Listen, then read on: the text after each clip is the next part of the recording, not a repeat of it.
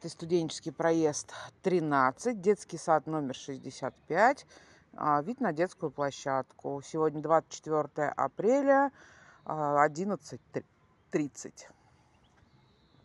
Вот посмотрите, все залито канализационными водами после аварии водоканала.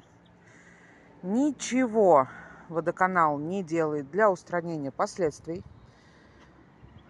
Вот сразу можно снять видео соседний участок.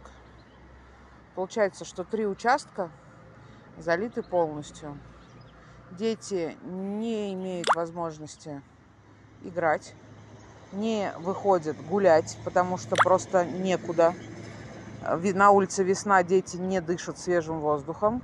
А после того, как это все просохнет, а, получается так, что а, наши дети будут копошиться в этой траве, с фекальной пылью, играть в песочнице. То есть вот, э, вот одна песочница там. Здесь вот за деревьями плохо видно, я просто не подойду туда. Еще одна песочница. Дети будут играть в этот песок с фекалиями.